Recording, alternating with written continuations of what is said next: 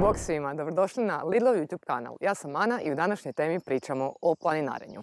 Činjenica je da je planinarenje postalo sve popularnija rekreacijska aktivnost i gotovo da nema većeg mjesta u Hrvatskoj koji nema osnovano svoje planinarsko društvo. Možda je planinarenje pravi izbor za vas, ali prije nego li se uputite u planinu i prirodu, definitivno morate znati osnove o kretanju, boraku i ponašanju na planinarskim stazama. Stoga ostanite sa mnom kako bi vaš izlaz bio što ugodniji.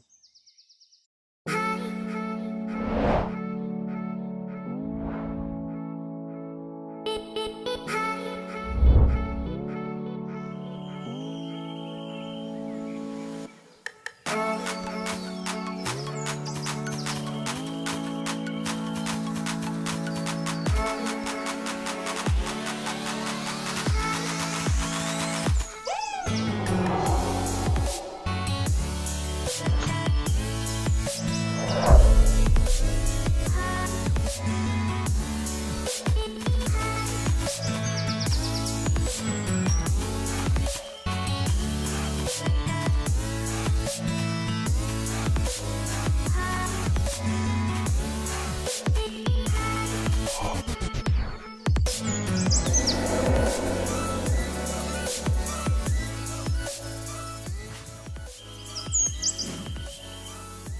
Ne idite sami u planinu. Bilo bi najbolje da idete s nekim tko je iskusan, tko vas može savjetovati tokom izleta i tko će biti uz vas ako dođe do kriznih ili nepredviđenih situacija.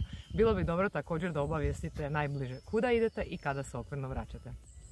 Držite se lakših i kraćih staza. Bez obzira na vaš entuzijazam, za početak birajte staze koje su lako dostupne, staze na kojima ima više ljudi. Ukoliko vam treba pomoć, planinari će vam uvijek pomoći. E, kada birate staze možemo povući web stranica planinarenje.hr, na njoj možete saznati zahtjevno same staze, a uz to možete izvući i GPS trag koji će vam sigurno biti od pomoći. Dobro se opremite. Obuću prilagodite ovisno terenu po kojem hodate. Bilo ljeto ili zima uvijek se obucite slojevito. U ruksaku vašem uvijek imajte dovoljno vode, kartu, kompas, čelnu lampu ako vas slučajno uhvati mrak. Također bilo bi dobro da imate i uz mobitel nekakav dodatan punjač.